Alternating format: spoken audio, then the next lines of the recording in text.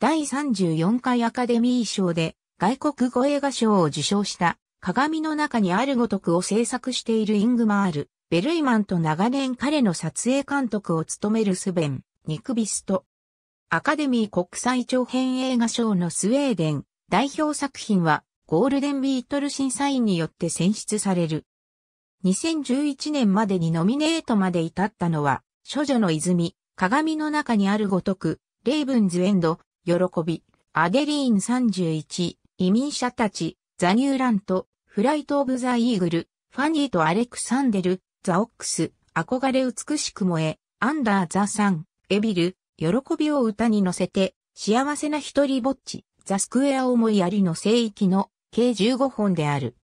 そして受賞に至ったのは、処女の泉、鏡の中にあるごとく、ファニーとアレクサンデルの計3本である。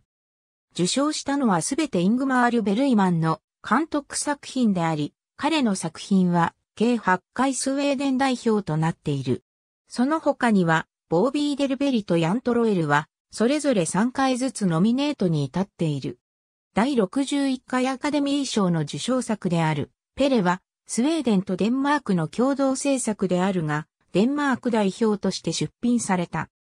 第75回アカデミー賞で、スウェーデン代表となったリリア・ヨン・エーバーは、大部分の会話がロシア語で占められ、スウェーデン語が少なかったために物議を醸した。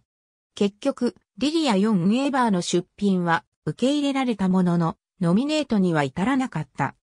1956年より映画芸術科学アカデミーは外国語映画賞を設置し、各国のその年最高の映画を招待している。